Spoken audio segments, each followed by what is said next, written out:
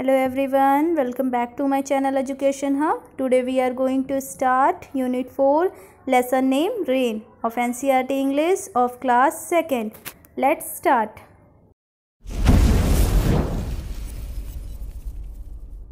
Rain. The rain is raining all around. It falls on field and tree.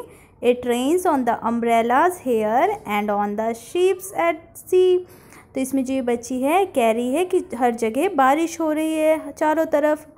Around मतलब होता है चारों ओर। It falls on the field and tree और वो कहाँ पे गिर रही है? फ़ील्ड मतलब मैदान में और ट्री मतलब पेड़ों पे। It rains on the umbrellas here और मेरे पास जो अम्ब्रेला है, इस पर भी बारिश पड़ रही है। और and on the ships at the sea और बारिश की बूंदें और कहाँ गिर रही हैं?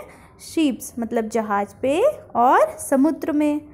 इसमें जो बच्ची है, वो ये कह रही है कि जो बारिश है, वो चारों तरफ़ हो रही है और इस जो बारिश की बूंदें हैं, वो मैदान में और पेड़ों पे भी गिर रहे हैं और इसके साथ ही मैंने जो अम्ब्रेला ले रखा है, मैंने जो छाते लिए, उस पर भी बारिश की बूंदें गिर रही हैं और शिप जहाज़ पे और समुद्र में भी बारिश की बूंदें गिर रही हैं।